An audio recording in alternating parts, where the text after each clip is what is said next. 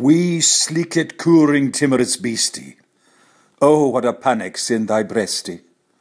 Thou needna start away so hasty with bickering brattle. I would be laith to run and chase thee with murdering pattle.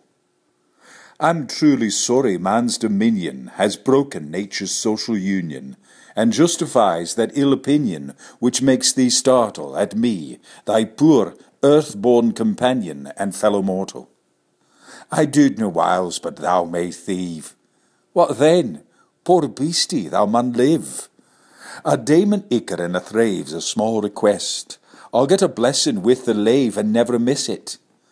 Thy wee bit hoosie too in ruin. Its silly walls the winds are strewing, and naething now too big and newen of foggage green, and bleak December's winds ensuing, baith snell and keen.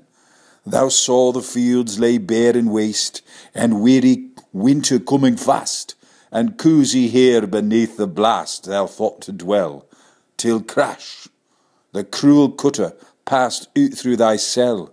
That wee bit heap o' leaves and stibble has cost thee money a weary nibble.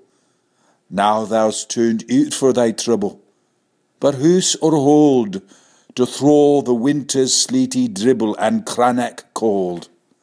But Mousie, thou art know thy lane, in proving foresight may be vain. The best laid schemes of mice and men gang aft agley, and leave us naught but grief and pain for promised joy.